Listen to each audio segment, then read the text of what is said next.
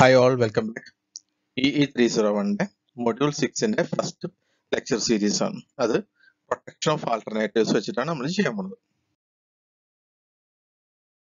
so protection of alternatives some of the important faults which may occur on an alternator എന്തൊക്കെ failure of prime mover failure of field or current or speed or voltage unbalanced loading and stator winding faults എന്താണ് failure of prime mover When input to the prime mover fails, the alternator runs as a synchronous motor and draws some current from the supply system. This motoring condition is known as inverted running. അതായത് prime മൂവർ fail ചെയ്ത് കഴിഞ്ഞാൽ പിന്നെ എന്ത് ചെയ്യും? Alternator എന്ത് ചെയ്യും? ഒരു synchronous motor ആയിട്ട് അതായത് ഇങ്ങോട്ട് ഇതാക്കാൻ തുടങ്ങും. അപ്പൊ എന്താണ്? സപ്ലൈ സിസ്റ്റം ഡ്രോ ചെയ്യും.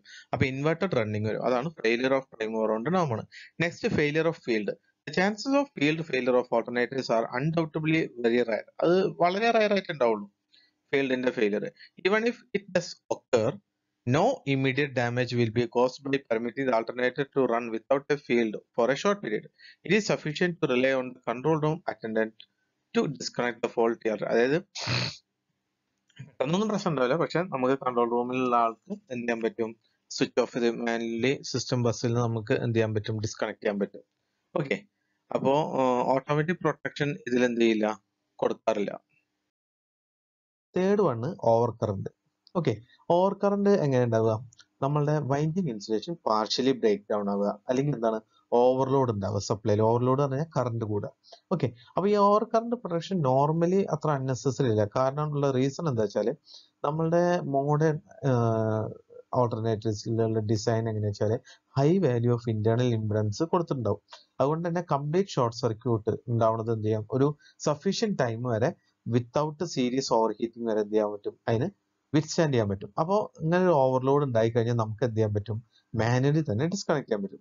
പിന്നെ disadvantage using overload protection overload protection use ചെയ്താലുള്ള ഒരു പ്രശ്നം എന്താ വെച്ചാൽ അങ്ങനെ പ്രൊട്ടക്ഷൻ ഉണ്ടായി കഴിഞ്ഞാൽ ഓൾട്ടർനേറ്റീവ്സ് പവർ പ്ലാന്റിൽ നിന്ന് ഡിസ്കണക്ട് ആവും. അത് എപ്പോഴാണ് വെച്ചാൽ പവർ പ്ലാന്റ് ബസ്സിന് പുറത്തുനിന്നുള്ള എന്തെങ്കിലും ഒരു ഇഷ്യൂസ് അതായത് വല്ല ഫോൾട്ടോ പുറത്ത് ഔട്ട്സൈഡ് പ്ലാന്റിലോ ഉണ്ടായി കഴിഞ്ഞാൽ അപ്പോൾ ഇതാവും. അപ്പൊ എന്താ പ്രശ്നം വെച്ചാൽ നമ്മളുടെ എന്ത് ചെയ്യും? Electric service continuity of electric സർവീസിന്റെ എന്ത് ചെയ്യും? ഇന്റർഫിയറൻസ് ഉണ്ടാവും.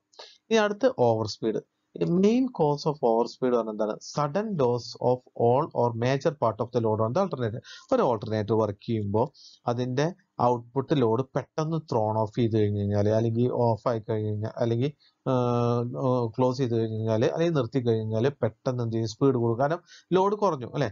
അപ്പൊ modern alternatives are usually provided with mechanical centrifugal devices mounted on their shafts ഈ മോഡേൺ ആൾട്ടർനേറ്റേഴ്സ് മോഡേൺ ആൾട്ടർനേറ്റേഴ്സിൽ എന്തുണ്ട്? മെക്കാനിക്കൽ സെൻട്രിഫ്യൂഗൽ ഡിവൈസസ് പ്രൊവൈഡ് ചെയ്തിട്ടുണ്ട്. എവിടെ? ഷാഫ്റ്റിന്റെ മുകളിൽ to trip the main valve of the prime mover main valve prime മൂവറിന്റെ off ചെയ്യാൻ. എപ്പോഴാണ്? When a dangerous over speed ഒക്കെ ഒരു ഡേഞ്ചറസ് ഓവർ സ്പീഡ് ഒക്കെ ചെയ്യുമ്പോൾ. നെക്സ്റ്റ് പറഞ്ഞാൽ ഓവർ വോൾട്ടേജ് ആണ്. Over voltage in an alternative occurs when speed of the prime mover increases over voltage എപ്പോഴും ഒക്കെ ഒക്കെ ചെയ്യുക. Speed of the prime mover increase ചെയ്യുമ്പോൾ ഈ speed of the prime mover എപ്പോൾ ഇൻക്രീസ് ചെയ്യുക? നമ്മൾ പറഞ്ഞ പെട്ടെന്നുള്ള sudden loss of alternator load വരുമ്പോൾ സിക്സ്ത് വൺ എന്ന് പറഞ്ഞാൽ അൺബാലൻസ്ഡ് ലോഡിങ് എന്താ ഈ അൺബാലൻസ്ഡ് ലോഡിങ് അതായത് ഡിഫറെന്റ് ഫേസസ് ഉണ്ട് നമുക്ക് അപ്പൊ ഡിഫറെന്റ് ഫേസ് കറൻസ് ഉണ്ടാവും ആൾട്ടർനേറ്റർ അല്ലെ? മൂന്ന് ഫേസ് ആണെങ്കിൽ മൂന്ന് ഫേസ് കറൻസ് ഉണ്ടാവും. അപ്പൊ അവിടെ അൺബാലൻസ് ഉണ്ടാവും എപ്പോഴാണെന്ന് വെച്ചാൽ എർത്ത് ഫോൾട്ട് ഉണ്ടാവാം. അല്ലെങ്കിൽ ഫേസും എക്സ്റ്റേണൽ ടു ദി ഓൾട്ടർനേറ്ററും തമ്മിൽ ഫോൾട്ട് ഉണ്ടാവും അപ്പൊ എന്തുണ്ടാവാം? അൺബാലൻസ് ഉണ്ടാവാം അതേപോലെ അൺബാലൻസ്ഡ് കറന്റ് നമ്മൾ അവിടെ അത് ഫ്ലോ ചെയ്യാൻ അനുവദിച്ചു കഴിഞ്ഞാലുള്ള പ്രശ്നം എന്താ വെച്ചാൽ സിവിയർ ആയിട്ട് എന്ത് ചെയ്യും? Mechanical fixings of the rotor core എന്ത് ചെയ്യും? അല്ലെങ്കിൽ അത് സിവിയർ ഫിക്സ് മെക്കാനിക്കൽ പ്രോബ്ലംസ് ഉണ്ടാവും ബേൺ ചെയ്യും. അല്ലെങ്കിൽ എന്താണ്? ഫീൽഡ് വൈൻഡിങ് ഡാമേജ് ആവും. ഇനി സ്റ്റേറ്റർ വൈൻഡിങ് ഫോൾട്ട് ഇതാണ് ഏറ്റവും ഡേഞ്ചറസ് ആയിട്ടുള്ള ഫോൾട്ട് ഇത് എപ്പോഴാണ് ഒക്കറി വെച്ചാൽ insulation failure of the stator winding ഉണ്ടാവുമ്പോഴാണ് അതായത് സ്റ്റേറ്റർ വൈൻഡിങ് ഇൻസുലേഷൻ ഫെയിലിയർ ആകുമ്പോഴാണ് എന്തുണ്ടാവുക? സ്റ്റേറ്റർ വൈൻഡിങ് ഫോൾസ് ഉണ്ടാവുക. അതിന്റെ മെയിൻ ടൈപ്സ് ഏതൊക്കെ വെച്ചാൽ ഫോൾട്ട് ബിറ്റ്വീൻ ഫേസ് ആൻഡ് ഫേസും ഗ്രൗണ്ടും തമ്മിൽ ഫോൾട്ട് ഉണ്ടാവാം. ഫോൾട്ട് ബിറ്റ്വീൻ ഫേസസ് ഉണ്ടാവും. ഇന്റർടേൺ ഫോൾട്ട് ഉണ്ടാവാം. Involving turns same phase winding ലൈനെ എന്താവാം? ഷോർട്ട് ആവാം. അപ്പൊ ഇതാണ് ഏറ്റവും ഡേഞ്ചറസ് പറഞ്ഞ്. ഇതാണ് കൺസിഡറബിൾ ഡാമേജ് ഉണ്ടാവുക. എക്സ്പെൻസീവ് മെഷീനറിയിൽ അതുകൊണ്ട് നമ്മൾ എന്താണ് ഓട്ടോമാറ്റിക് പ്രൊട്ടക്ഷൻ അബ്സൊല്യൂട്ട്ലി ഇതിന് ഇതിന് നെസസറി ആണ്. ഓക്കെ അപ്പൊ എത്ര ഏർലിയസ്റ്റ് പ്രോബ്ലം ഉണ്ടായി അപ്പൊ എന്ത് ചെയ്യണം? നമുക്ക് ക്ലിയർ ചെയ്യാൻ പറ്റണം. ഇനി ഈ പ്രൊട്ടക്ഷന് വേണ്ടിയിട്ട് നമ്മൾ യൂസ് ചെയ്യണത് എന്ന് പറഞ്ഞാൽ ഡിഫറൻഷ്യൽ മെത്തേഡ് ഓഫ് പ്രൊട്ടക്ഷൻ ആണ്. അതിന് പറയുന്ന പേരാണ് വേറൊരു പേരാണ് മേഴ്സ് പ്രൈസ് പ്രൊട്ടക്ഷൻ ഓക്കെ ഇതാണ് മോസ്റ്റ് കോമൺലി എംപ്ലോയ് ചെയ്യാൻ റീസൺ എന്താ വെച്ചാൽ ഗ്രേറ്റർ സെൻസിറ്റിവിറ്റി ആണ് റിലയബിലിറ്റി ആണ്. ഇതാണ് ഡിഫറൻഷ്യൽ പ്രൊട്ടക്ഷൻ ഓഫ് ഓൾട്ടർനേറ്റർ ഇതിനെ നമ്മൾ പറയുന്ന ഒരു പേരാണ് Merz Price circulating current scheme ഇവിടെ എന്താണെന്ന് വെച്ചാൽ രണ്ട് കറണ്ട് രണ്ട് എൻഡിലും എന്തുണ്ട് കറണ്ട് ട്രാൻസ്ഫോമേഴ്സ് പ്രൊവൈഡ് ചെയ്യുന്നുണ്ട്. സി ടി വണ്ണും സി ടി ടു ഞാൻ ഇതും അതുപോലെ സ്കീമാറ്റിക് അറേഞ്ച്മെന്റും വർക്കിംഗും കൂടി ഒപ്പം പറയണം. ഓപ്പറേഷൻ അടുത്ത പേജിൽ ഉണ്ട് ജസ്റ്റ് നിങ്ങൾ ഒന്ന് വായിച്ചു നോക്കിയാൽ എല്ലാം കൂടി ഒറ്റയടിക്ക് ഞാൻ പറഞ്ഞുതരാം. ഓക്കെ അപ്പോൾ നോർമൽ കണ്ടീഷനിൽ നോർമൽ ഓപ്പറേറ്റിംഗ് കണ്ടീഷനിൽ ഇവിടെ ഇവിടെ എന്താ വെച്ചാൽ ഈ സി ടി ഉണ്ടല്ലോ സി ടി ഇങ്ങനെ സെക്കൻഡറി കണക്ട് ചെയ്യുന്നുണ്ട്. അപ്പോ സി ടീസിന്റെ സെക്കൻഡറീസ് തമ്മിൽ സ്റ്റാർ ആയിട്ടാണ് ഇതാ സി ടീസിന്റെ സെക്കൻഡറീസ് തമ്മിൽ സ്റ്റാർ ആയിട്ടാണ് കണക്ട് ചെയ്തിട്ടുള്ളത്. അതാണ് ഇവിടെ പറഞ്ഞിട്ടുള്ളത്. The secondary terminals of the current transformers are connected in star and their end terminals are connected through the pilot wire ഇതിന്റെ എൻഡ് ടെർമിനൽസ് എന്ത് ചെയ്യുന്നുണ്ട്? ഒരു പൈലറ്റ് വയറിലൂടെ ചെയ്തിട്ടുണ്ട്. Relay coils are connected in connected in delta അപ്പൊ ഇവിടെ എന്താ വെച്ചാൽ ഈ C T C neutral of the earth transformer എന്ത് ചെയ്തിട്ടുണ്ട് റിലേ ആർ കണക്റ്റഡ് കോമൺ ടെർമിനലായിട്ട് കൊടുത്തിട്ടുണ്ട്. ഇപ്പൊ ഇതാണ് നോർമൽ വർക്കിംഗ് കണ്ടീഷൻ ഇവിടെ എന്താണ്? ഈ സി ടി സെയിം കറൻസ് ആണ് രണ്ട് എൻഡിലും മെഷർ ചെയ്ത് കഴിഞ്ഞാൽ ഉണ്ടാവുക. നോർമൽ ഓപ്പറേറ്റിംഗ് കണ്ടീഷനിൽ എന്തെങ്കിലും ഒരു ഫോൾട്ട് ഒക്കർ ചെയ്യുകയാണെങ്കിൽ ഈ ഏരിയയാണ് നമ്മുടെ പ്രൊട്ടക്റ്റിംഗ് സോൺ എന്തെങ്കിലും ഒരു ഫോൾട്ട് ഒക്കർ ചെയ്യുകയാണെങ്കിൽ എന്ത് ചെയ്തു? ഈ സി ടി തമ്മിലുള്ള കറണ്ടിന്റെ ഡിഫറൻസ് എന്ത് ചെയ്യും? വ്യത്യാസം വരും. അപ്പൊ എന്താണ്? അതുവരെ പൈലറ്റ് വയറിൽ കൂടെ ഒരു കറണ്ട് പോകണ്ടാവില്ല അപ്പൊ ഇതിനെ കറണ്ട് പോകുമ്പോൾ എന്ത് ചെയ്യും? ഈ റിലേസ് എനർജൈസ് ചെയ്യും. എനർജൈസ് ചെയ്യുമ്പോൾ എന്ത് ചെയ്യും? മേലക്ക് ഇത് പൊങ്ങും. അതായത് ഇതാവും. അപ്പൊ എന്താണ്? നേരെ ട്രിപ്പ് കോയിലോട്ട് കണക്ഷൻ വരും. ട്രിപ്പ് കോയിൽ വർക്ക് ചെയ്യും. ഇതാണ് ഇതിന്റെ വർക്കിംഗ് അപ്പൊ ഇതിന്റെ ഓപ്പറേഷൻ നെക്സ്റ്റ് പേജിലുണ്ട് അതൊന്ന് വായിച്ചു നോക്കാം കേട്ടോ. ഓപ്പറേഷൻ ഞാൻ പറഞ്ഞു. Next problem associated with differential protection system ഈ ഡിഫറൻഷ്യൽ പ്രൊട്ടക്ഷൻ സിസ്റ്റം കൊണ്ടുള്ള പ്രോബ്ലം എന്താണെന്നുള്ളത്?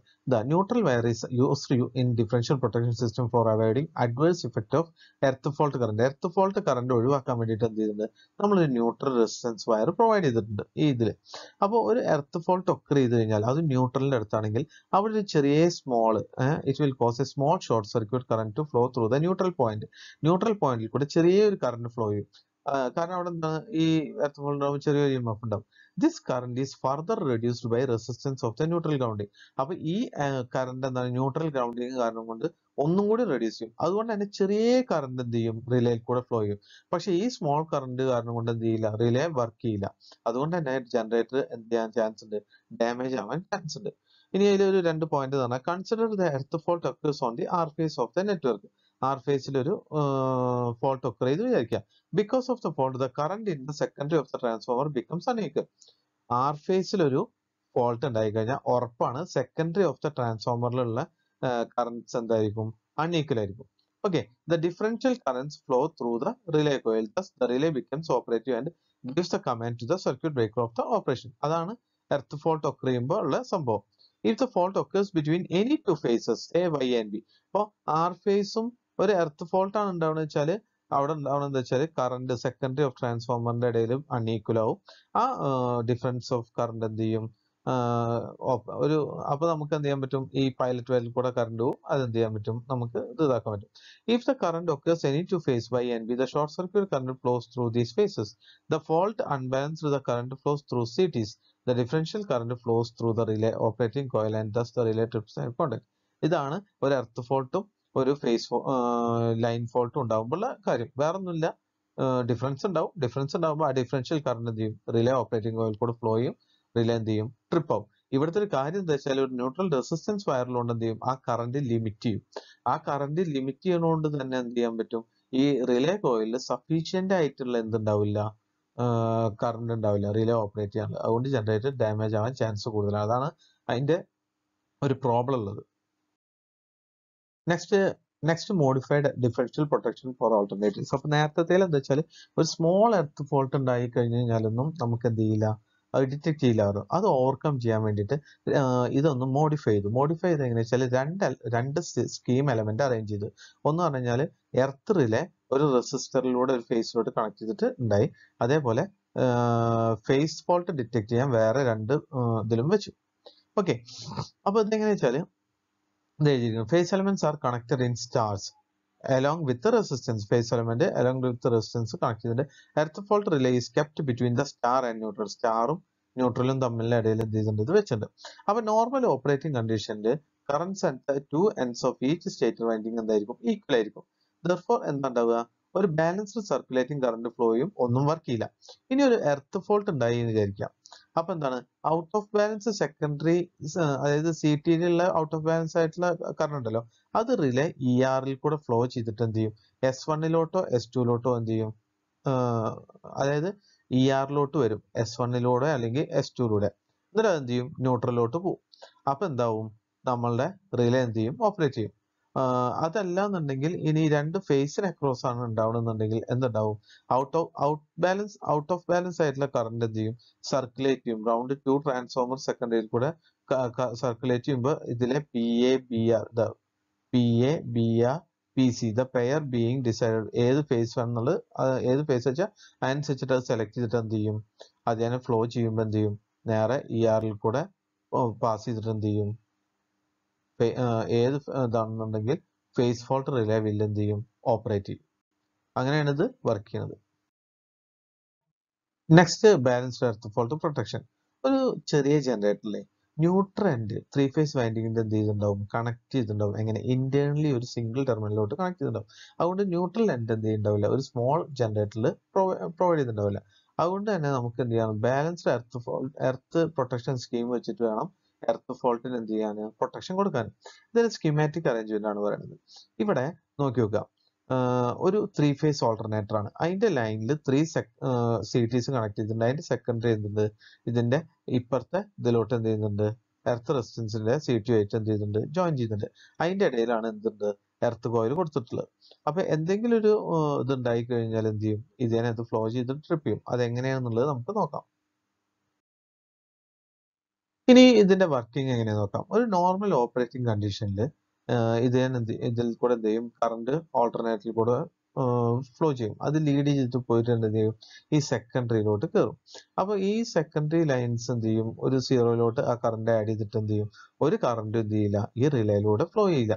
അപ്പോൾ അണ്ടർ ദീസ് കണ്ടീഷൻ ന്യൂട്രൽ വയറിലുള്ള ഈ ന്യൂട്രൽ വയറാണ് ഇതിന്റെ ഇതിൽ കണക്ട് ചെയ്തത്. അത് എന്തായിരിക്കും? സീറോ ആയിരിക്കും. അപ്പൊ secondary of neutral current transformer supplies no current of the relay to the relay ഇനി ഒരു എർത്ത് ഫോൾട്ട് ഇവിടെ ഉണ്ടാവണമെന്നുണ്ടെങ്കിലും ഇതേപോലെ തന്നെ ആയിരിക്കും. പക്ഷെ ആ എർത്ത് ഫോൾട്ട് ഇവിടേക്കാണ് വരുന്നതെന്നുണ്ടെങ്കിൽ ഏഹ് വിത്തിൻ ദ പ്രൊട്ടക്ടർ സോണിലേക്ക് വന്നു കഴിഞ്ഞാൽ ഈ കറണ്ട് എന്താവില്ല? ഈക്വൽ ആവില്ല. ഈ സി ടി സി തമ്മിലുള്ള കറണ്ട് ഈക്വൽ ആവില്ല. അവിടെ ഒരു ഡിഫറൻസ് ഉണ്ടാവും. ആ ഡിഫറൻഷ്യൽ കറണ്ട് എന്ത് ചെയ്യും? ഈ റിലേ കോയിലൂടെ പോയിട്ട് എന്ത് ചെയ്യും? ഓപ്പറേറ്റ് ചെയ്യും. അപ്പൊ എന്താണ് സി ബി ഓപ്പറേറ്റ് ചെയ്യും. നെക്സ്റ്റ് സ്റ്റേറ്റർ ഇന്റർടേൺ പ്രൊട്ടക്ഷൻ നമ്മൾ Merz Price circulating current system പഠിച്ചു അല്ലെ? അവിടെ എന്ന് പറഞ്ഞാൽ ഫേസ് ടു ഗ്രൗണ്ടും ഫേസ് ടു ഫേസ് ഫോൾട്ടും ഒക്കെയാണ് നമ്മൾ എന്ത് ചെയ്ത് മെഷർ ചെയ്ത്. അത് നമുക്ക് പ്രൊട്ടക്ട് ചെയ്യാൻ പറ്റും. പക്ഷെ ടേൺ ടു ടേൺ ഫോൾട്ട് പറ്റുന്നില്ല. കാരണം അതൊക്കെ ഒരു എക്സ്റ്റേണൽ ആയിട്ടുള്ളതാണ്. സെയിം ഫേസ് വാല്യൂ അപ്പൊ ഒരു ചില ജനറേറ്റേഴ്സ് എങ്ങനെയായിരിക്കും ചില ആർ ഫേസിൽ തന്നെ രണ്ട് ടേൺ ഉണ്ടാവും. ഡബിൾ വൈൻഡിങ് എന്നാണ് ഇതിന് പറയാം. വൈ ഫേസിൽ ഉണ്ടാവും ഡബിൾ ബിയിലുണ്ടാവുമ്പോൾ ഡബിൾ ഓക്കെ അപ്പൊ ഇത് തമ്മിൽ എന്തെങ്കിലും ഷോർട്ടേജ് ഉണ്ടായി കഴിഞ്ഞാൽ നമുക്ക് അറിയാൻ പറ്റില്ല. കാരണം എന്താ വെച്ചാൽ നമ്മൾ എപ്പോഴും കൊടുക്കുന്നത് എങ്ങനെയാണ്? ഇതിന്റെ ആർ ഫേസിന്റെ ജനറേറ്റർ കഴിഞ്ഞിട്ടുള്ള ഈ ആൾട്ടർനേറ്റർ കഴിഞ്ഞിട്ടുള്ള ആർ ഫേസിന്റെ ഇവിടെ അതുപോലെ എന്താണ്? നേരെ ഇപ്പുറത്തും മാത്രമേ കൊടുക്കുന്നുള്ളൂ. പക്ഷെ ഇതിന്റെ ഇടയിലുള്ള വരില്ല. അതായത് നമ്മൾ ഇതാ പറയണം. It is because the current this type of fault produce flows in a local circuit between turns involve and does not create difference between current centring and leaving the winding at its end where current transformers were applied അപ്പൊ നമ്മൾ ഇവിടെ current transformer രണ്ടെണ്ണം apply ചെയ്തിട്ടുണ്ട് അല്ലെ? അപ്പൊ ഇത് തമ്മിൽ short ഉണ്ടായാൽ പോലും ഇതിൽ കയറി കഴിഞ്ഞാൽ സെയിം കറണ്ട് തന്നെയാണ് അപ്പുറത്തും ഇപ്പുറത്തും വരുന്നത്. അപ്പൊ ഇവിടെ ഇന്റർടേൺ ഫോൾട്ട് ഉണ്ടാവണം നമ്മൾ അറിയുന്നില്ല. മനസ്സിലായോ? ഇവിടെ ഇപ്പൊ ഐ വൺ കയറി കഴിഞ്ഞാൽ ഇത് ബൈ ക്രിച്ചോഫ് ലോ എന്ത് ചെയ്യും? അങ്ങോട്ടും ഇങ്ങോട്ടും സ്പ്ലിറ്റ് ചെയ്യും. ഇതിൽ എന്തെങ്കിലും ഷോർട്ട് വന്നാലും ആ സെയിം കറണ്ട് എന്ത് ചെയ്യുള്ളൂ ജനം ഫ്ലോ ചെയ്യുള്ളൂ ഓക്കെ അപ്പൊ അതുകൊണ്ട് തന്നെ നമുക്ക് എന്ത് ചെയ്യാൻ പറ്റില്ല? ഈ ഇന്റർ ടേണിൽ എന്തെങ്കിലും ഒരു ഷോർട്ട് ഉണ്ടായി കഴിഞ്ഞാൽ നമുക്ക് അറിയാൻ പറ്റില്ല. അപ്പൊ ഇന്റർ ടേൺ ഉണ്ടായി കഴിഞ്ഞാൽ പിടിക്കാൻ വേണ്ടിയിട്ടാണ് ആർ വൺ എന്നുള്ള റിലേ സ്കിമാറ്റിക് അറേഞ്ച്മെന്റിൽ പ്രൊവൈഡ് ചെയ്തിട്ടുള്ളത്. ആർ സി നമ്മളുടെ നോർമൽ ഫേസ് ടു ഫേസും അതേപോലെ ഫേസ് ടു ഗ്രൗണ്ട് ഫോൾട്ട് ഉണ്ടായിക്കഴിഞ്ഞാൽ പിടിക്കാൻ വേണ്ടിയിട്ടാണ്. ഇനി നോർമൽ ചില മിക്ക ജനറേറ്ററും സിംഗിൾ ടൈം ജനറേറ്റർ ആയിരിക്കും. അതിന് ഈ ഒരു പ്രൊട്ടക്ഷന്റെ ആവശ്യമില്ല. പക്ഷേ ഹൈഡ്രോ ഇലക്ട്രിക് ജനറേറ്റേഴ്സിൽ ഡബിൾ മൾട്ടി ടേൺ ജനറേറ്റേഴ്സ് ആണ് വരുന്നത്. ഡബിൾ വൈൻഡിങ് ആർമേച്ചേഴ്സ് ഉണ്ടാവും. ഓക്കെ അപ്പൊ ഇവിടെ എന്താണ്? ഫേസ് വൈൻഡിങ് രണ്ടായിട്ട് ഡിവൈഡ് ചെയ്തിട്ടുണ്ടാവും. അപ്പൊ അതിന്റെ തമ്മിലുള്ള ഷോർട്ടേജ് ഉണ്ടെങ്കിൽ അറിയാൻ വേണ്ടിയിട്ടാണ് നമ്മൾ എന്ത് ചെയ്യുന്നത്? ഇന്റർടേൺ ഫോൾസ് വെച്ചിരിക്കുന്നത് അടുത്ത പേജിൽ ഇതിന്റെ ഒറ്റ പോർഷൻ മാത്രം എടുത്തിട്ടുണ്ട്. അതിൽ നമുക്ക് വർക്കിംഗ് വൃത്തിയിൽ പറയാം. അപ്പൊ നമ്മൾ നേരത്തെ കണ്ടതിന്റെ ഒരൊറ്റ സെക്ഷൻ മാത്രം എടുത്തിരിക്കുകയാണ് അല്ലെ? വൺ ഫേസ് ഇവിടെ ഡബിൾ ഫേസ് ആണ്. ഡബിൾ ബൈൻഡിങ് ആണ്. എസ് വൺ എസ് ടു എന്നുള്ള രണ്ട് ബൈൻഡിങ് അപ്പൊ രണ്ട് കറണ്ട് ട്രാൻസ്ഫോമേഴ്സ് ഈ എസ് വണ്ണിന്റെ എസ് ടുവിന്റെ അവിടെ പ്രൊവൈഡ് ചെയ്തിട്ടുണ്ട്. ഓക്കെ അപ്പൊ നോർമൽ കണ്ടീഷനിൽ എന്ത് ചെയ്യും? ഈ ലൂപ്പിൽ കൂടെ പോണ കറണ്ട് എന്തായിരിക്കും? ഈക്വൽ ആയിരിക്കും. ഇതിന്റെ അക്രോസ് എന്തുണ്ടാവില്ല? ഒരു ഡിഫറൻസ് ഉണ്ടാവില്ല. ഇനി ഒരു ഷോർട്ട് സർക്യൂട്ട് ഉണ്ടായി കഴിഞ്ഞാൽ എസ് വണ്ണും എസ് ടു എന്ത് ചെയ്യും? രണ്ടും ഈക്വൽ ആവില്ല. അപ്പൊ എന്ത് ചെയ്യും? ഒരു ഡിഫറൻഷ്യൽ കറണ്ട് എന്ത് ചെയ്യും? ഈ ആർ വൺ റിലേയിൽ കൂടെ ഫ്ലോ ചെയ്യും. എന്നിട്ട് എന്ത് ചെയ്യും? ഇത് ജനറേറ്റർ സിസ്റ്റത്തിനെ ക്ലോസ് ഓഫ് ചെയ്യും. എങ്ങനെ യൂസിങ് സർക്യൂട്ട് ബ്രേക്കർ ഇത്ര ഇത്രയാണ് ഓൾട്ടർനേറ്ററിന്റെ പ്രൊട്ടക്ഷൻ സ്കീം ഇനി അടുത്ത് നമ്മൾ ട്രാൻസ്ഫോമറിന്റെ പ്രൊട്ടക്ഷൻ സ്കീമും അതുപോലെ ട്രാൻസ്മിഷൻ ലൈനിന്റെ പ്രൊട്ടക്ഷൻ സ്കീമും അടുത്ത ലെക്ചർ സീരീസിൽ നമുക്ക് നോക്കാം.